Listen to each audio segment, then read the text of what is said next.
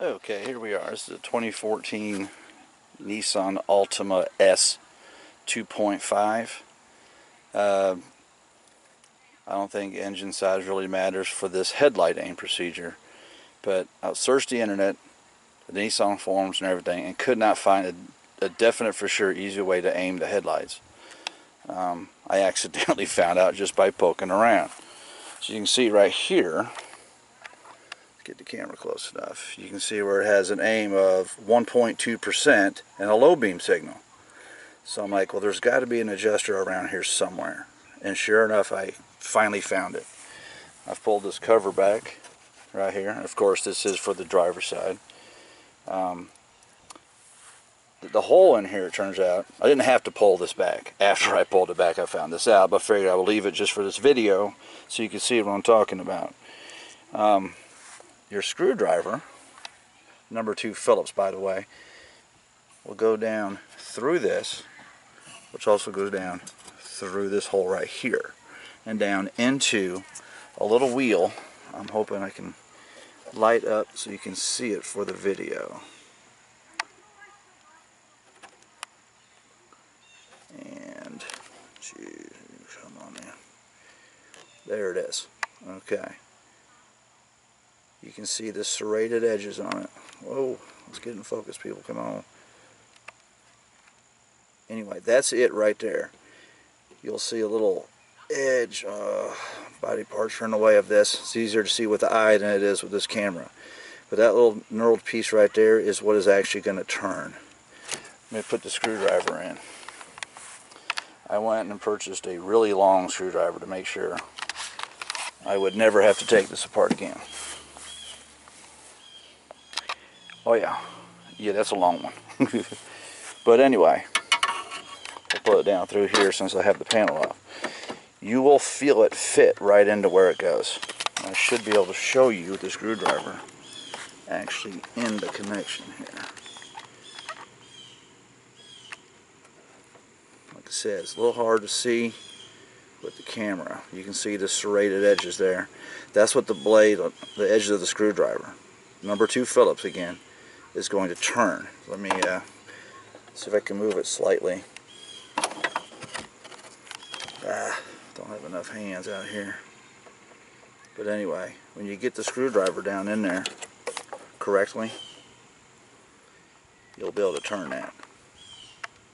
And it has to turn a lot. One turn of the screwdriver is only like one tenth of a turn of that wheel.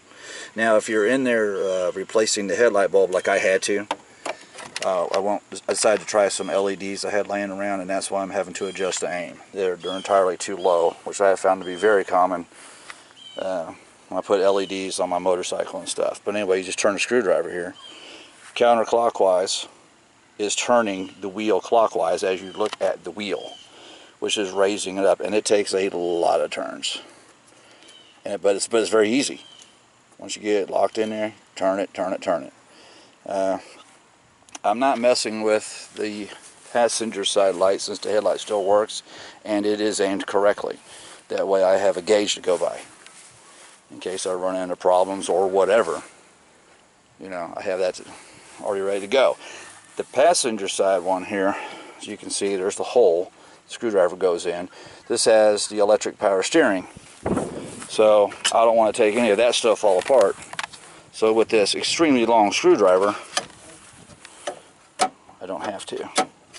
You will feel it. It slides into a groove and it guides it right, guides the head of the screwdriver right to where it needs to go. Now, doing it with two hands was a lot easier than doing it like this. But anyway, just want you to see where the hole is to do this. I cannot believe I couldn't find not one other video to show doing this. So I wanted to make sure somebody if they needed to know. Ah. Anyway, you're going to have to feel around. Like I said, it's easier to do when, uh, when you got both hands on it, but there's the hole for that one as well. Um, it goes down a pretty good ways there. Your screwdriver needs to be at least that long. The one I had was just barely make it, but the handle was rubbing up against the metal over here. and I didn't want to tear up the car or the screwdriver so Harbor Freight Tools was nice enough to sell me two of these for four bucks. Hard to beat that price. This might be the only thing I ever use it for but I don't care. The chances are once you have the tool you're never going to need it again. But anyway that that's how you do it. Um, I'll put this panel back on there's just two little clips holding it on anyway and the next time I can just come through here. Probably going to take some trial and error to get this headlight aimed right. Like I said, some of these LEDs, even though they're an exact fit, the LEDs don't sit quite exactly where they need to be when you have projector style headlights, which I have come to not really like because if you have one of these cars, 2013 and up body style, you understand just how miserably poor these low beams are. The H11s themselves are okay, but it's that projector. The H9 high beam is fine. I'm to leave those alone until I need to do something with them. I don't drive this car that much. I use my motorcycles more than anything. But anyway, I just wanted to show you, again, one more time, that hole right there on the driver's side.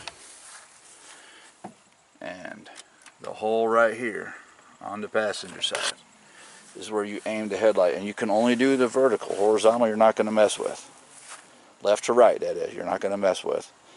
Um, when it gets dark I will uh, I'll go ahead and see how the aim is compared to the factory one that I have not messed with. But anyway that way it'll give me a good base and hopefully these LEDs were worth it. I bought them a while back. If they don't work out too good no problem. I'll just put better halogens in and re-aim this side back to where it was and and that is that. But I just wanted to put this video up for anyone wanting to know how to aim a headlight on one of these body styles. Alright have a good one